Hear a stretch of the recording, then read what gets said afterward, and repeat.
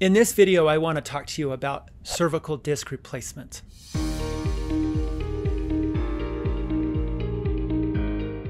When a disc degenerates in the neck, a couple of things can happen. One is the disc can herniate, another is bone spurs can form, and an arthritic cascade can occur. Sometimes it's both. Patients can have neck pain arm pain and numbness and even weakness in their arms and even in their legs as well, especially if the spinal cord is involved. We want to help you understand the nature of your problem and the full array of treatments that are available.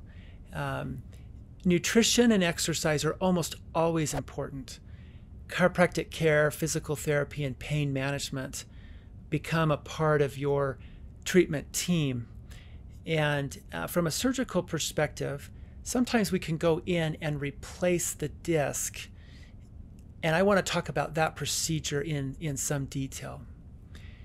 First of all, cervical disc replacement has been around for several years now. It's been around a little bit longer in Europe than in the United States.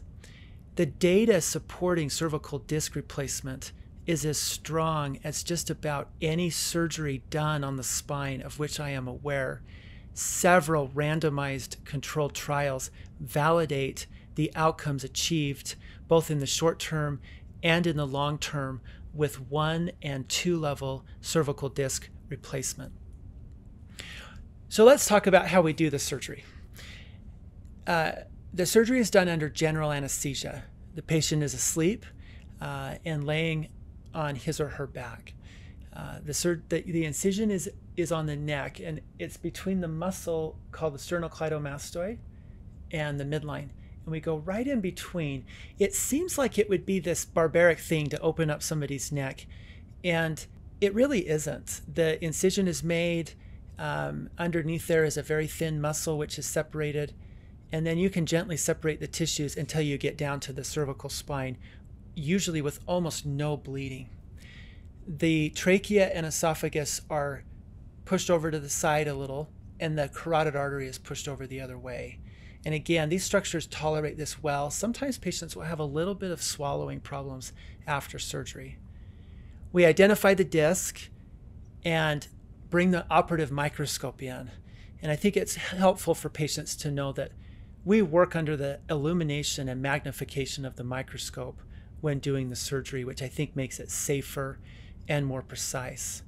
The disc is completely removed, and the associated disc herniations, if there are any, and bone spurs are completely removed until we reach a point where the nerve on each side and the spinal cord in the middle are completely free of compression and are no longer affected by the, the pinching or the bone spurs, etc., that have formed. At that moment in time, uh, and we've decided this beforehand. We could either proceed with a fusion by putting a cage and a plate on, or we can simply replace the disc. These implants go into the disc space. They're anchored primarily by compression. So we've distracted the disc space open, and we take off that distraction once the implant is in and it's wedged in there, so to speak. Once the implant is in position, we irrigate and close the wound and put a little skin glue on the surface of the wound.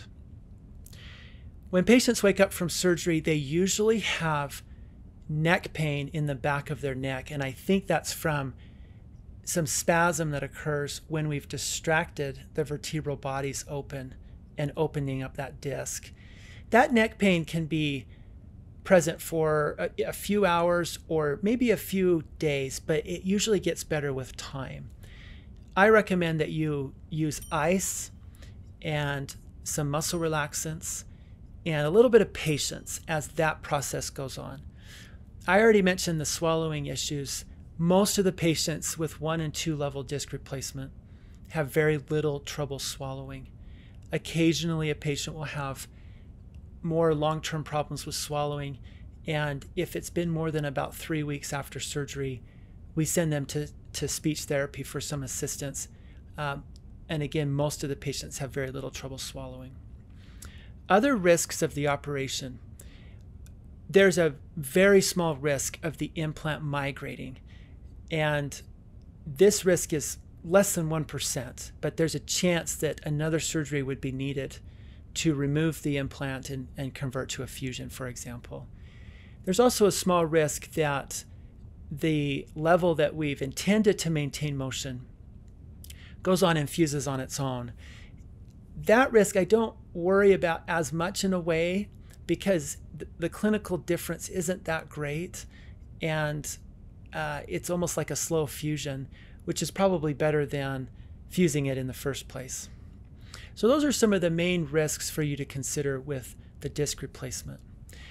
What about the benefits? The benefits of disc replacement are really quite good. Over 90% of the patients have a good outcome. Most of the time, the arm pain associated with a pinched nerve improves fairly soon after surgery. Sometimes the numbness present before surgery persists, and sometimes the weakness persists. My experience has been that those two issues usually improve. They improve a little bit over a little bit longer period of time than the pain does. Um, long term, the patients maintain motion in most cases in their cervical spine, which is good for the adjacent segments. And the reoperation rate, meaning the likelihood that you would have to go back to surgery to do another level is lower, uh, and, and the patients can have a better long term outcome.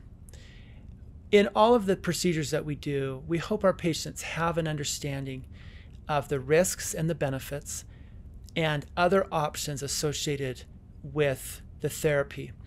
In this case, uh, physical therapy, chiropractic care, and pain management are always options and should be included in most cases anyway as a part of the treatment plan. If you are considering disc replacement as a part of your management strategy for spinal health uh, and have additional questions, please let us know. We hope patients going through this process as they evaluate this as a treatment option have a full understanding of, of the risks and benefits and can go into the operation if that is chosen as a, as a treatment option for them, with confidence that they are making a sound decision and with the understanding that will lead to the best recovery and outcome possible.